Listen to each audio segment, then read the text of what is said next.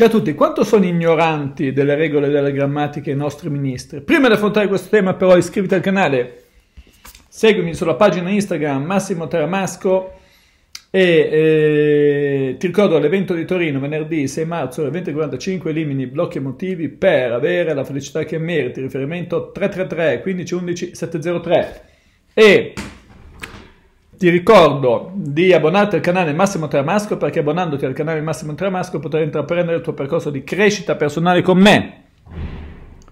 È facile farlo, basta andare sull'home page del canale, a fianco alla tastiera iscriviti, trovi il tastiera abbona, ti abboni e inizi il tuo percorso di crescita personale con me.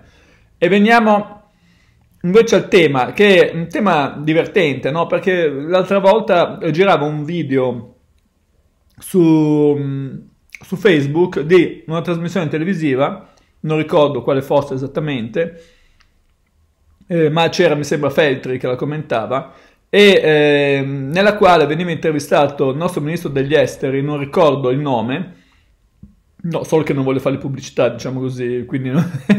e, il quale, parlando del coronavirus, appunto, se ne è uscito con, eh, nell'emergenza del coronavirus, cioè ha eh, ha, usato questo termine coronavirus. Ora uno dice perché? Perché probabilmente facendo il ministro degli esteri sta studiando l'inglese perché, come diceva pure Feltri, non lo conosce evidentemente l'inglese. Questa è una, una cosa, una, un'altra cosa assurda, cioè per fare il bidello a scuola devi, fare, devi conoscere l'inglese, per fare il ministro degli esteri non conosci l'inglese, va bene, va bene così. Però questo è veramente l'apoteosi dell'Italia, cioè, non, cioè io non dico che uno deve essere ferrato per fare il ministro di quel tema al 100%, ma un minimo di cultura generale, cioè ragazzi ci servirebbe anche per, per chi fa politica, non dovrebbero, secondo me, neanche farti entrare in politica se, se manco non sai le, le, basi, fondamenti della lingua italiana e del latino, che insomma,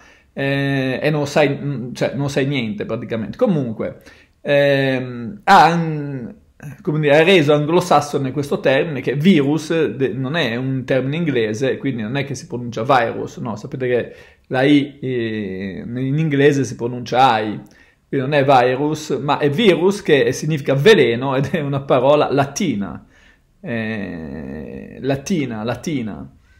Ora, eh, questo uno dice, ma come mai eh, questa osservazione? Ma perché io credo che per rappresentare una nazione bisogna anche avere un minimo di cultura.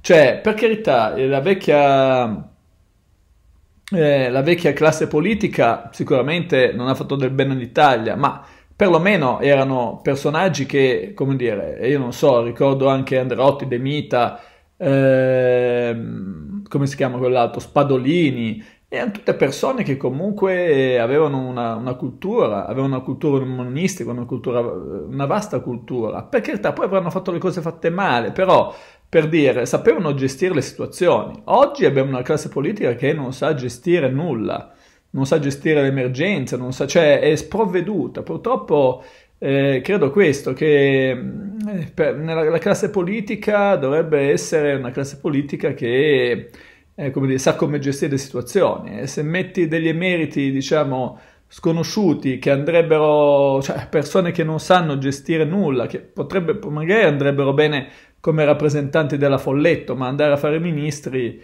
eh, servono altre competenze, secondo me. Questo è un mio punto di vista. E comunque andate a studiare! per questo video è tutto, ti ricordo l'appuntamento di Torino eh, venerdì 6 marzo ore 20.45 eh, elimini i blocchi emotivi per avere la felicità che meriti. Riferimento 333 1511 703. Per questo video è tutto, ti do appuntamento al prossimo, abbonati al canale Massimo Tramasco. Ciao a tutti.